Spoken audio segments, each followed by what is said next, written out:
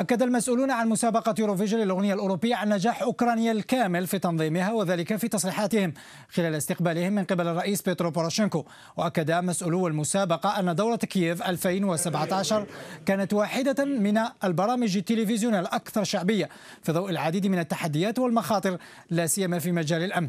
وأعرب الرئيس بيترو بوروشينكو عن أمله في أن يكون الآلاف من زوار أوكرانيا قد استمتعوا بهذا الحدث الفني الكبير كما دعا الجميع لزيارة كييف خلال نهائي دوري أبطال أوروبا لكرة القدم.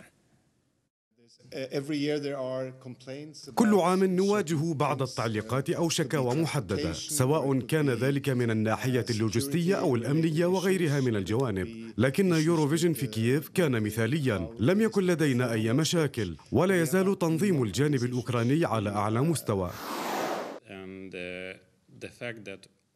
في الحقيقة جرى عمل رائع وكان جميع الصحفيين والمتسابقين والمشجعين يشعرون بالضيافة وكييف كانت بيئة مريحة للجميع.